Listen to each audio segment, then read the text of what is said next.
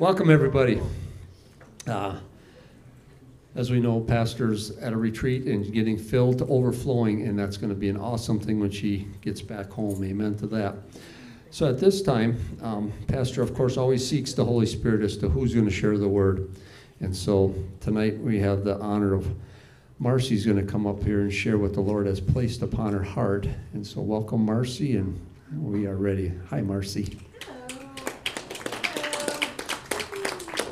So I kind of had thought that I was going to be talking about healing.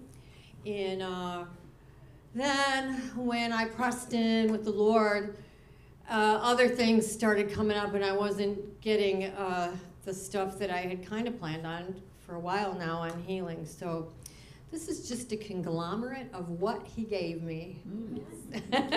take it. Yeah. Yeah. So, how is everybody tonight? Good. Yeah. Yes. Good. Well, what I was going to talk to you about tonight is about uh, personal personal battles.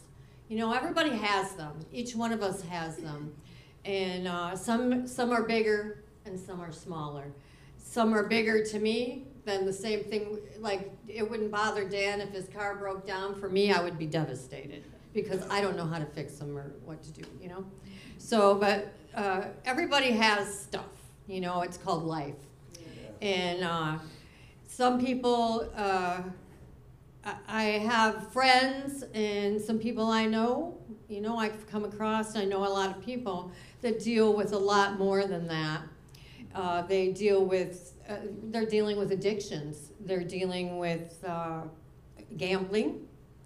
Uh, I know someone that has a tough food addiction I have a couple friends that have uh, shopping addictions, money addictions. They just cannot stop.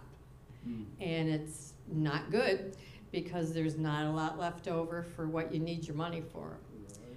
So, uh, then along with those th- along with those things and that's not all of it you know we all have things every day that happen or, or uh, that we try to shake off and push through. But out of all of this, sometimes uh, depression can occur. It can try to latch onto you and just stick with you uh, and uh, try to bring you down. Yes. You know, and we're always trying to stay above above that.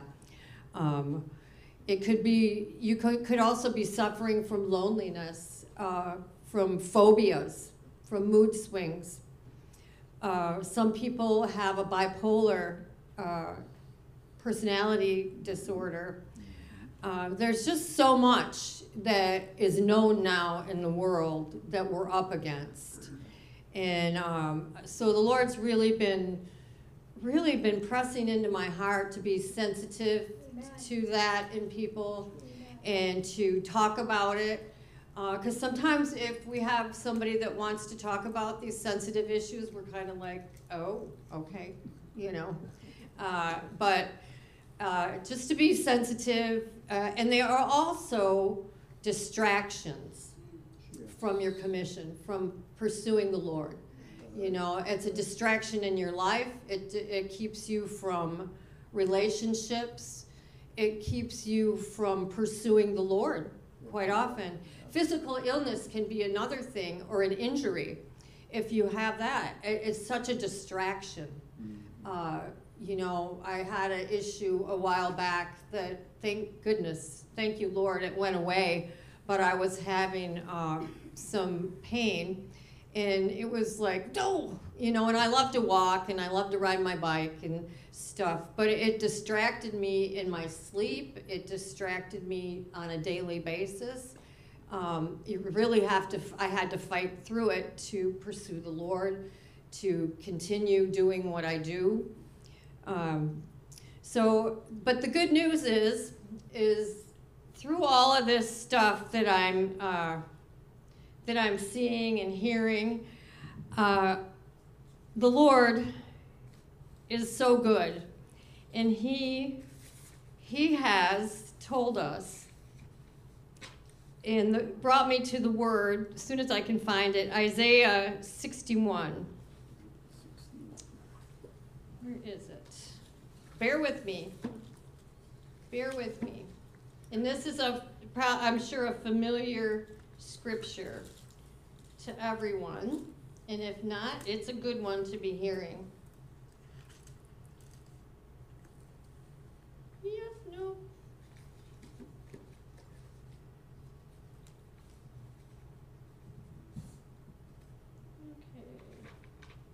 Here it is.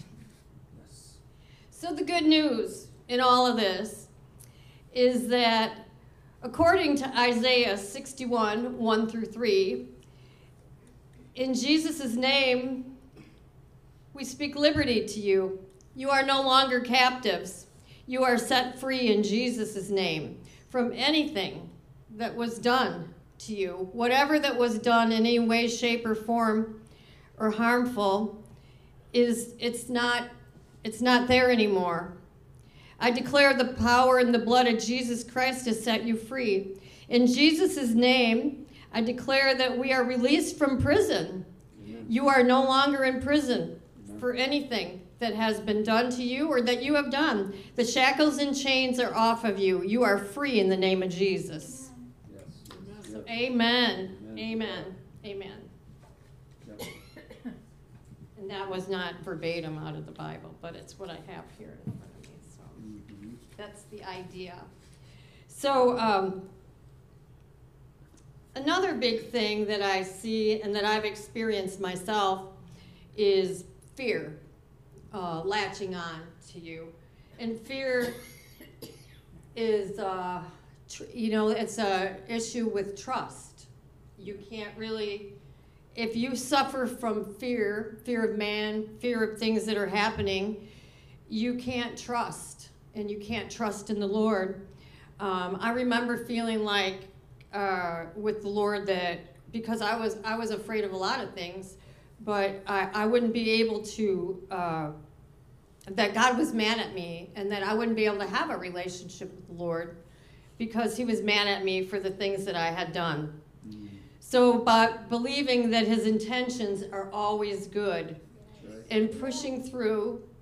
It's the good news of Isaiah 61, 1 through 3. Mhm.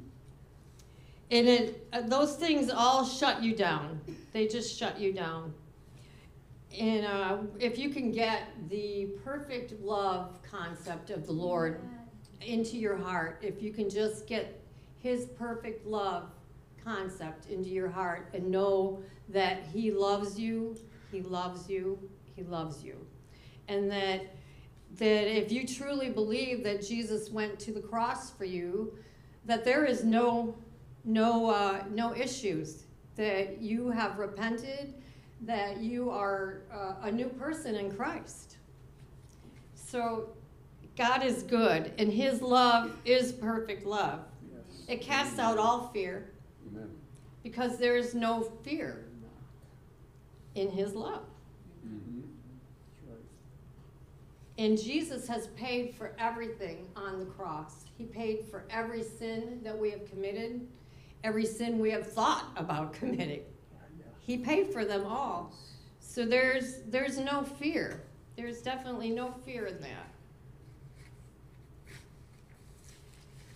And uh, the other thing the Lord wanted me to talk a little bit about was um, trauma and trauma and uh, I think everybody has something that happened to them, something that changed their life a little bit, something that hurt you, uh, something, you know, your trauma might not be what my trauma was. Um, I suffered from trauma as a child, under 10 pretty much. I had some momentous uh, things uh, happen to me, but um, other people, it could be one thing or it could be a bunch of things. Everybody's trauma is different and we can't compare them to each other.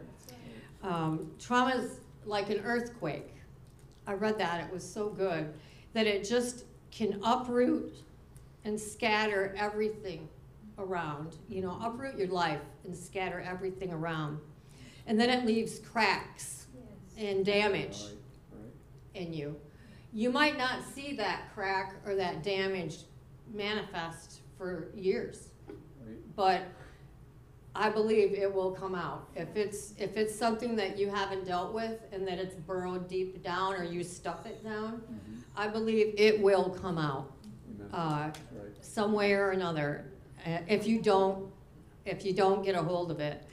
And, um, trauma changes you.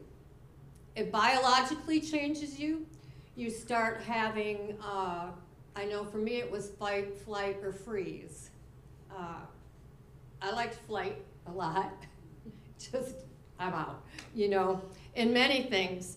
Uh, not conducive to uh, having uh, relationships or communication or uh, following through on things. Uh, but again, the good news is, is the Lord went to the cross for us That's for those things. Amen.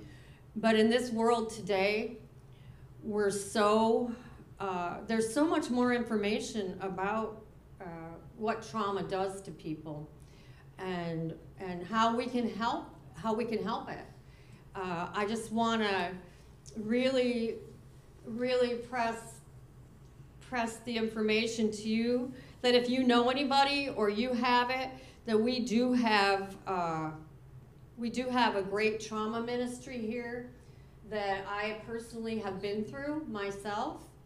And I actually went through the first full segment and I went through it again a little bit because some stuff wants to try to wiggle around a little bit. But I've never, and I've also uh, assisted with the ministry in many cases, and I've never, never had anybody have a bad result or anything. It has done, it has been more helpful and uh, than it has anything else. It's just an extremely anointed ministry here at River of Life. Yes, it is. And I know other places uh, have some things too. But it is amazing. I have seen people set free. I've seen people start their journey of being set free Amen. and healed. That's right. Uh, healed of these emotional stresses that have changed us. And that's how do you go about it? Well, you have to be sick and tired of allowing these things to disrupt your life, or you just can't. Uh, you can't function. You may be having panic attacks, or you might be uh, drinking too much, or you might be doing some drugs, or something that you and it doesn't work anymore to stuff it down. You know, so you just you really need to find a safe person, a safe place. The Lord will show you, uh, and and uh, come forth with that secret that you have, or, or the hurt that you have. Come forth with it, and once it's out of the darkness and it's not a secret anymore, that's part of uh, the healing process right there. The enemy can't use that against you anymore. Um, it's just so good to find a safe place to get rid of it. And to start healing. Amen. Um, it affects, you know, it just affects how we do life. And uh, this brought to my mind my grandmother has been gone a long time because I obviously am not a spring chicken. But um, she, the story always was with her, she was a wonderful woman and I loved her so much. She died when I was pretty young, but she uh, was amazing. She was a historian, she was a teacher, and she had had a daughter that died uh, at seven years old. And her daughter had, uh, back then, would have been, you know, a long time ago, a childhood disease that they didn't have inoculations for yet. And my grandma lost that child and she was quarantined with her. She never talked about it. She never talked about it to her family. She never talked about it uh, to my mom, uh, her daughter. Uh, she, she went forth after that happened. She adopted two kids because she didn't think she was ever going to have any more children of her own. And she kept teaching. And this was a long time ago when most women didn't work. And then she just, she filled her life with so many things. And then she had my mom. So she had three kids. They moved from Detroit to Onekama, and she had a store. She taught full time in Copemish. Uh, but at 70 years old, she had a breakdown.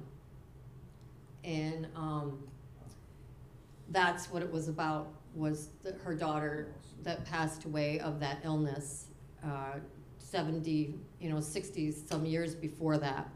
It, it got her then, you know, and she just, she just fell apart. She recovered, she got help, uh, and, and she was okay, but she had to deal with that. She had to deal with that because it, she just couldn't go on anymore without it. So that's just a little story about uh, how things do come out eventually. Um, and, and you can't compare because somebody else, um, I've been following a woman on social media that lost a son to, uh, to fentanyl. And, uh, but he didn't pass away. He overdosed. She, her and her husband got to the hospital. They're, I'm not sure, but they're very, uh, very on fire for the Lord. And they started praying over him in the hospital. They spoke life over him. He was told, they told him, the parents, that he was brain dead, his organs were shutting down. Well, he didn't die. He came back to life. Um, the mom stayed with him every day. They played praise and worship music. She she worked with him, physical therapy. She uh, she danced with him. They had him standing up and doing things. He started speaking. He had eye contact. Um, she had a year and a half with him, and uh, he had 17 miracles occur during this year and a half that he did come back. But the, the, these people's story is amazing. And her son passed away this March of an infection in, a, in his ileus. But uh, they are so on fire yet for the Lord and to stomp out fentanyl and to not let this happen to anybody else ever again. And these people just just are on there right now and they started an organization and she's speaking and she's uh, she's just amazing she said yes i am brokenhearted yes i am hurt but i will not let the enemy. Put his foot on my head. I put my foot on his head. so in jesus name bless these all these people. You know uh, those those struggles are some of the worst we can imagine. But yet but god makes it possible. He just does he does. His perfect love makes it possible. So uh, people do recover we do recover people recover from trauma from hurt the biggest thing is you know it's going to hurt when you start giving it up. It's going to be uncomfortable. It's going to be painful. Uh, in my case, a lot of it, once it was out, it was, thank goodness, a relief, you know. Um, I'm a little bit older though, and I think I started dealing with uh, trauma, getting rid of it, you know, probably at 50. So my hope and prayer is that nobody has to carry that stuff to 50 or 70. That there is so much known today about mental health and dealing with this stuff. And we're fortunate enough to know the Lord Jesus Christ as our Savior Yes. that we can overcome that. You guys can overcome it. You can help people overcome it at a much younger age so they can live their life how it was intended to be. Mm-hmm. So they can be be happy, be glorious, have don't put you know, you won't put your trauma on your kids. You know, like I I'm I know I did. You know, I misbehaved. I misbehaved for many years, you know. And there's nothing nothing you can do about it, but you can going forward. That's right. You know, starting right here and right now, you can go forward with all of it. Yes. You know, and you can recover, and you can uh, you can let the Lord do miraculous works in you, Amen. In Jesus' name. He's so good. He's so good. And uh, just a side note, I- in all- all that I've been through and everything I've seen, I've seen people um, be freed from addiction like that because of the Lord. I've seen other people struggle that don't know the Lord. I've seen them struggle for years. I've seen some of them uh, not make it, many not make it, believe me. But I've seen, I was, I got rid of smoking just like that. God took it from me. And I'm telling you, I don't know how many times I quit before that, that it was, oh, you know, I couldn't sleep, it made me sick. But because of the Lord, He will take those things or He'll show you how to do it. Yep. It's just so much easier doing it His way. Amen. Yeah, so much easier doing it His way. Um, and if you do go through trauma uh, therapy, trauma ministry, um, you can have, I'll say, like I went through it and I was really ready to give up anything, even things I wasn't, you know, I didn't know about. But I had a few little things like still pecking at me, or uh, something happens in your life that brings up something that I hadn't thought about. So, you know, those things can happen. We're human.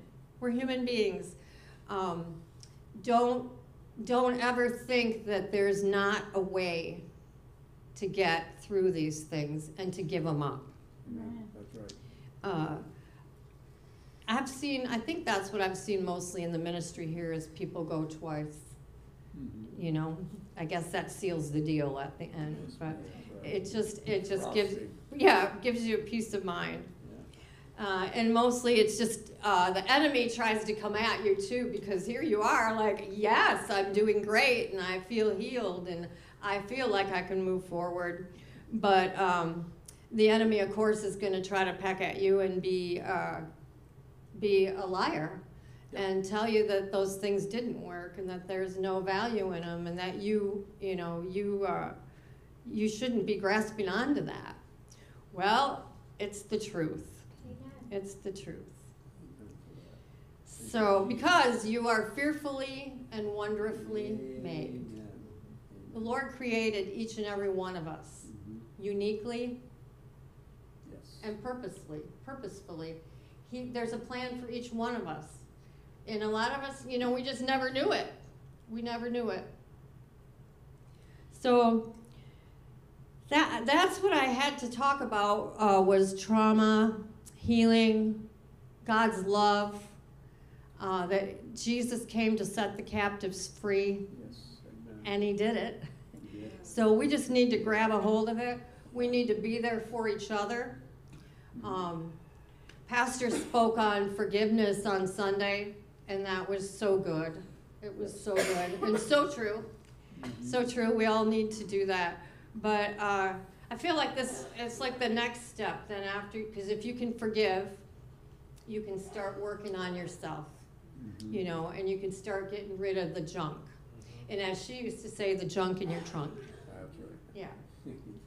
So I wanted to uh, read a scripture over you.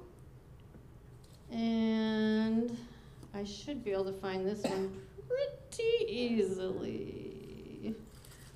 Because this one is uh, for protection, for guidance to give you comfort. And, and help take you to that safe place. And it's, it's headed safety of abiding in the presence of God. Psalms 91. And I'm praying this over each and every one of you in here and those that can hear the word through other devices tonight. He who dwells in the secret place of the Most High shall abide under the shadow of the Almighty. I will say of you, Lord, You are my refuge, and you are our fortress, my God, in whom we trust. Surely you will deliver us from the snare of the fowler and from the perilous pestilence. He shall cover us up with his feathers, and under his wings we shall take refuge. His truth will be our shield and buckler. We shall not be afraid of the terror that comes at night, nor of the arrow that flies by day, nor of the destruction that lays waste at noonday. noonday. A thousand may fall at our side, and ten thousand at our right hand, but it will not come near us. Only with our eyes shall we look and see the reward of the wicked. Because we have made the Lord, who is our refuge, even the Most High, your dwelling place. No evil shall befall any of you, nor shall any plague come near your homes. No evil. So good. For he shall give his angels charge over you, each and every one of you, to keep you in all your ways. And in their hands they shall bear you up, lest you dash your foot against a stone. You shall tread upon the lion and the cobra. The lion, the young lion, and the serpent shall be trampled under your feet. Because he has set his love upon me. This is a promise. This is a promise. Therefore, he says, he will deliver us.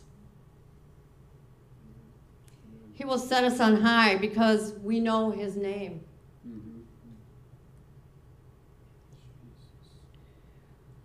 He shall call upon we shall call upon him and he will answer us. And we will be with him in trouble. He will deliver us and we will honor him. And with a long life he will satisfy us and show us his salvation. So in Jesus name just bless each and every one of you guys tonight. Amen.